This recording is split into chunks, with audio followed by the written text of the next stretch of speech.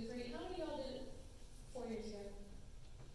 And Macy. Macy is, uh, was, has become ill today and is not able to make it. But I looked down and here they are. Their freshman year, we did this song.